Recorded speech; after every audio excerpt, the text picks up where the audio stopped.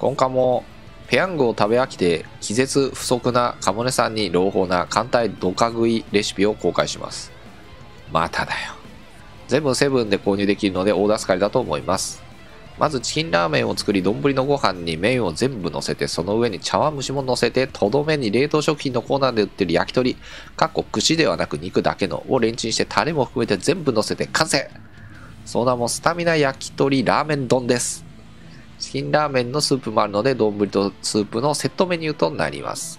こんな夢がいっぱい、お腹もいっぱいになれるレシピで、毎晩すやすや行きましょう。うん。なるほど。チキンラーメン、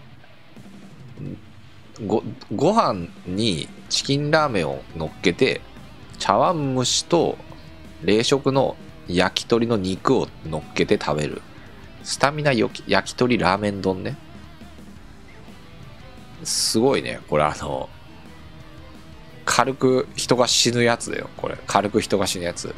皆さんちょっとこういうの食べると、あの、気絶してしまうので、食べ過ぎには気をつけましょうね。はい。